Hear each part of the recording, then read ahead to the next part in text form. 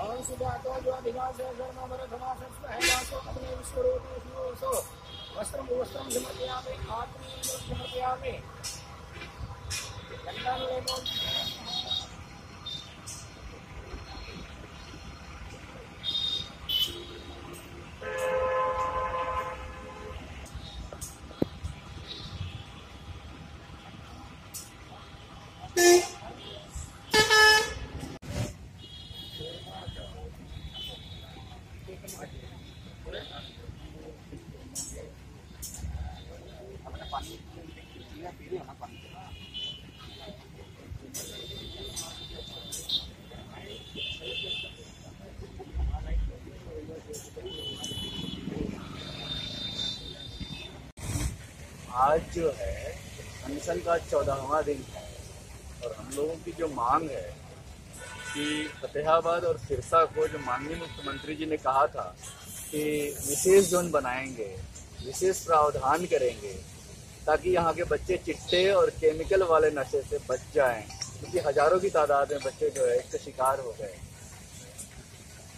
अभी वो फ़ाइल जो है मुख्य सचिव और मुख्यमंत्री जी के पास है, जो डीसी महोदय यहाँ के जो उपायुक्त हैं वो यहाँ से भेज चुके चार सितंबर को।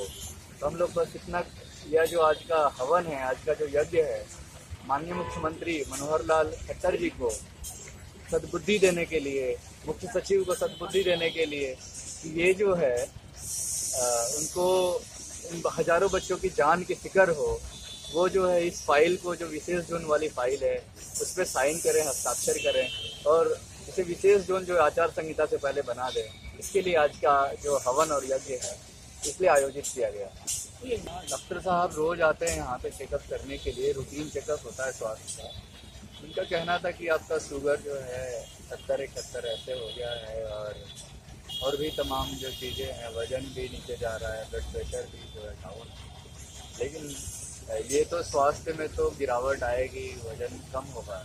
लेकिन जो हज़ारों युवाओं का स्वास्थ्य है, हज़ारों परिवारों का जो स्वास्थ्य है, समाज का जो स्वास्थ्य है, वो जो है ज़्यादा ज़रूरी है। मेरे से ज़्यादा ज़रूरी उन तमाम बच्चों को बचाना, नौजवानों को बचाना है। इसीलिए आज हम लोगों ने ये यज्ञ भी किया। श्राद्ध का समय है ये। पितरों को याद करते हुए कि जो पितर हैं, वो उन तक ये बात पहुंचाएँ कि कैसे जो है सरकार जो माननीय मुख्यमंत्री खट्टर जी चला रहे हैं, उनको जो है एक सही रास्ता दिखाएँ। श्राद्ध का समय पितरों को याद करने का होता है तो पितृ जो है उनको सही दिशा दिखाएँ, सही मार्ग दिखाएँ, कि ये जो नशा है समाज को, देश को पूरी तरीके से खत्म कर देगा, बर्बाद कर देगा। तो ये पितरों को याद करते हुए आज जो है, श्राद्ध के समय में ये यज्ञ और हवन